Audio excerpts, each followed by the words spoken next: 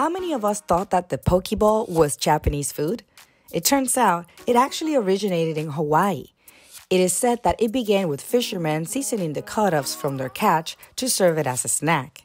The Poke bowl was translated as diced fish salad.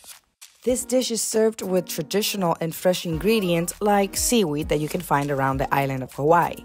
But it has been also very influenced by the Japanese and other Asian cuisines, adding more ingredients like soy sauce, green onions, sesame oil, and more.